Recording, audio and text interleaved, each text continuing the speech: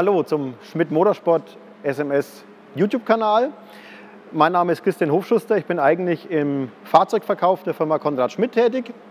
Aber heute zeige ich euch mal mein privates Projekt, was auch von der Firma SMS stark begleitet wurde die letzten Jahre und vor allem auch ausschlaggebend war, dass dieses Projekt etwas ausgeartet ist, wenn man es mal vorsichtig so nennen darf.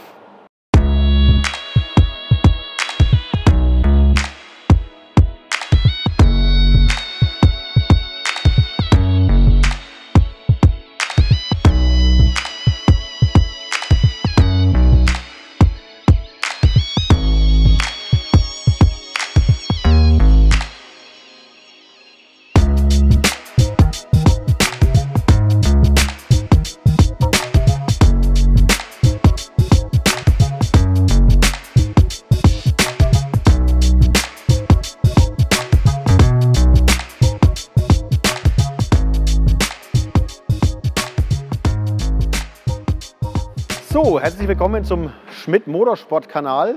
Heute haben wir mal ganz ein anderes Thema.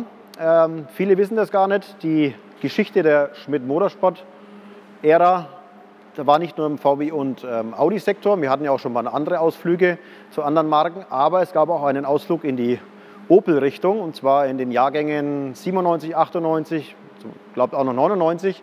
Ähm, da wurden alle STW Vectras, also vom Supertourenwagen Cup, hier in Karolsburg, beziehungsweise damals noch in unserer ausgelagerten Stelle in Langenzenn, für alle Rennteams vorbereitet. Das heißt, die Firma SMS hat alle STW Vectra für die anderen Rennteams mit aufgebaut, karosserietechnisch vorbereitet. Die mussten dann nur noch die Endabnahme vornehmen und dann die Fahrzeuge halt zum Einsatz bringen.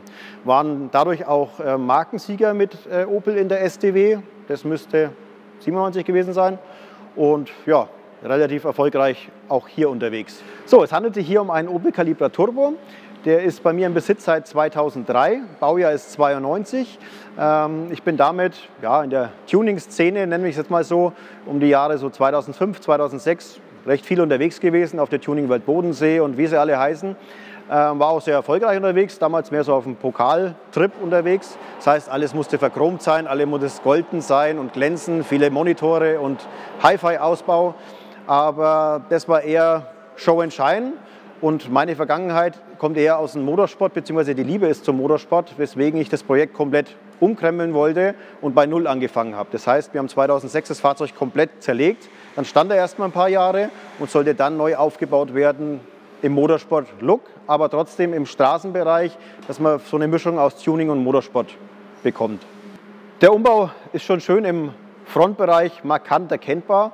Man hat nicht wirklich viele Serienteile. Wir haben eine komplett eigengefertigte Stoßstange, die mittlerweile aus 12 oder 13 Stoßstangenteilen besteht, die wir zusammengefügt haben. Die Motorhaube alleine besteht aus acht Teilen. Einmal aus Motorhaube, aus Teilen der Kotflügel, aus eigengebauten Verbreiterungen ähm, und natürlich auch ein Teil von der Stoßstange, von der ursprünglichen, die wir hier mit integriert haben.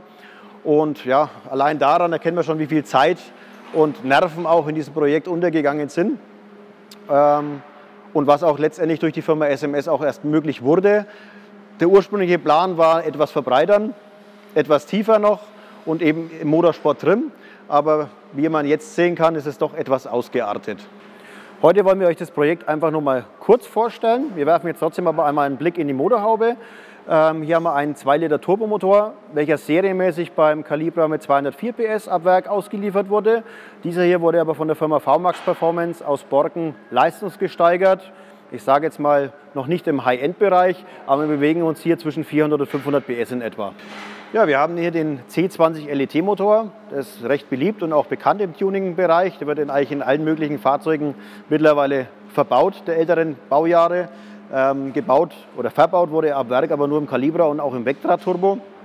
Ähm, mit dem Serienmotor haben wir aber nichts mehr am Hut eigentlich, außer vielleicht dem Gehäuse. Die Innereien wurden komplett von der Firma VMAX überarbeitet und auch ähm, optimiert. Wir haben die komplette Elektronik von einem 2003er Astra Turbo übernommen.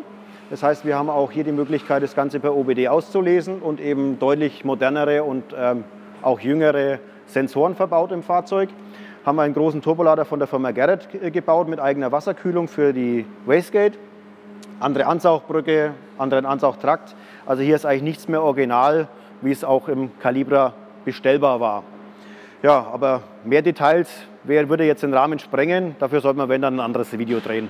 Die eigentliche Idee für den Umbau war deutlich dezenter, also wirklich deutlich dezenter. Aber dadurch, dass ich 2006 hier das Arbeiten angefangen hatte, ähm, ja, kam der eine, kam der andere. Aus der langen Motorsportgeschichte kamen natürlich viele Ideen in dieses Projekt mit rein. Und so wurde ja, aus ein bisschen Motorsportartig etwas Motorsportunartig, würde ich jetzt mal bezeichnen. Ausgeufert ist der ganze Umbau im Endeffekt mit dem Bau dieser Seitenkästen. Das war ein Wunsch von mir damals, ähm, weil die heutige DTM auch solche Kästen fährt und mir das einfach optisch sehr gut gefallen hat.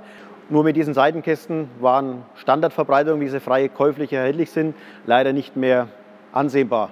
Deswegen hat ein Mitarbeiter der SMS, welcher fit ist auf diesem Kunststoffgebiet, eben gesagt, das machen wir komplett anders und das ist daraus geworden. Im Heckbereich finden wir hier auf der rechten Seite, wo eigentlich der Tankdeckel auch mit sitzt, die, den Einfüllstutzen für die Luftzufuhr. Wir haben eine Druckluft-Hebeanlage verbaut, auch wie es im Motorsport üblich ist. Das heißt, das Fahrzeug braucht keine Hebebühne mehr separat zum Räder wechseln, sondern ich gehe hier mit dem Druckluft drauf, das Fahrzeug fährt nach oben, ich kann Räder wechseln, abziehen, fährt das Fahrzeug nach unten, relativ kurzfristig und schnell. Wir haben hier einen originalen DTM-Heckflügel, zwar leider nicht vom Opel, weil die sind nicht verfügbar, sondern hier von einem Exemplar aus dem Mercedes-Regal, aber sehr ähnlich dem Opel und eben auch ja, optisch sehr passend für dieses Modell.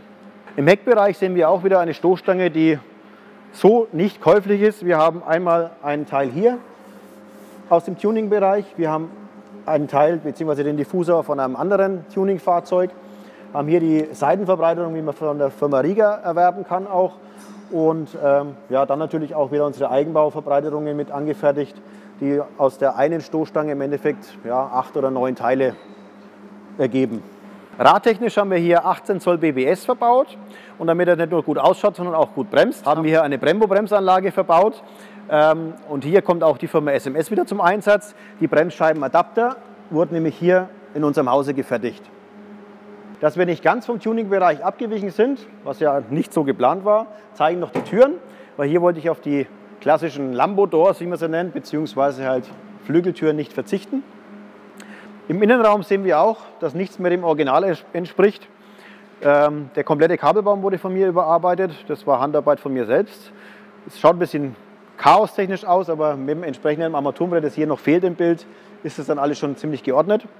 Wir haben Instrumente vom, aus dem Motorradbereich und Zusatzinstrumente aus dem Tuningbereich, wie man sie auch kennt, beziehungsweise aus dem Motorsportbereich.